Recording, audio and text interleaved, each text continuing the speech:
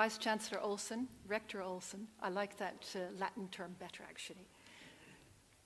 EADI colleagues, friends, ladies and gentlemen, let me extend a very warm welcome to you all here in Bergen at the EADI Nordic Conference. As EADI, we are very grateful to the Norwegian Association of Development Research, who is co hosting this conference with us, and have found it a great pleasure to work together in the past 18 months. I do believe this conference, and I go back with EADI relations um, back to 1980, forget that immediately. I have found, I believe, this conference is the one with the smoothest organization I have ever seen in the history of EADI. Especially let me thank Erlend Eidsvik, Tord Rå, for their close cooperation with our EADI team, headed by Jürgen Wiemann, EADI Vice President, Susanna von Itter, our Executive Director, and the full teams behind both of them. We have become good friends in the process, and I look forward to future cooperation. Our hosts are, as you can see from your program, the University of Bergen and the Christian Michelsen Institute. The University of Bergen, as the rector has just mentioned, has indicated, is very in- internationally oriented, and your current strategy, focused on sea, life, and society, recognizes global challenges as a priority area.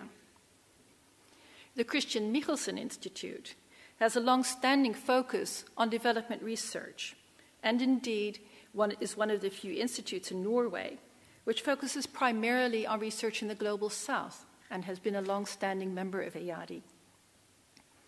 The work of both institutes resonates with the current theme of our conference on globalization at the crossroads, rethinking inequalities and boundaries. And I would like to thank both Vice Chancellor Olsen Tora Satterdal of UIB Global, and Director Ottar Mæstad, am I saying that right, of the CMI for your commitment to the goals of EADI and the conference.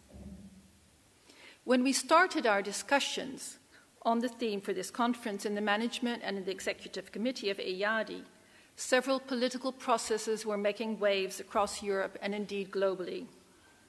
The USA election process and its candidates, the wars within the Middle East and North and West Africa, the international stream of people migrating for political and economic reasons, and the European countries' reactions, but equally the agreement on the SDGs which was reached and the Paris Agreement on dealing with climate change.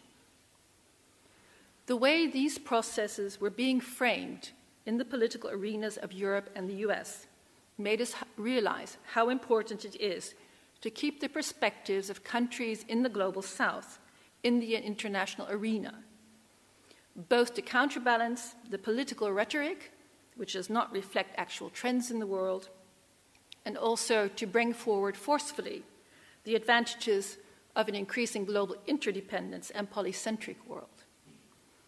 This was the reason for us to raise the question of globalization again for a reassessment. To what extent is it a set of exclusionary and monopolistic processes, or is it possible to shift globalization processes to, towards more inclusionary processes by developing and renewing social contracts which recognize the rights of people in the world everywhere? Therefore, we decided to start off this conference by inviting our keynote speaker for the Dudley Seers lecture to reflect on an essential global infrastructure which strongly influences or determines the potential for exclusionary or inclusionary economic development.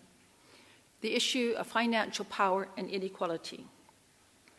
Our speaker for this afternoon is James K. Galbraith, who holds the Lloyd M. Bentsen Jr. Chair in Government and Business Relations at the Lyndon B. Johnson School of Public Affairs and also holds a professorship in government at the University of Texas in Austin.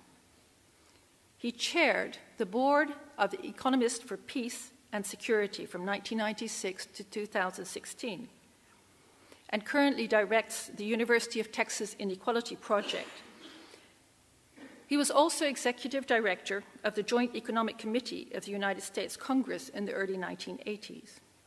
In the mid 1990s, he served as chief technical advisor to China's State Planning Commission for Macroeconomic Reform, and in the first half of 2015, he served as an informal advisor to the Greek Minister of Finance. In 2016, he advised the presidential campaign of Senator Bernie Sanders.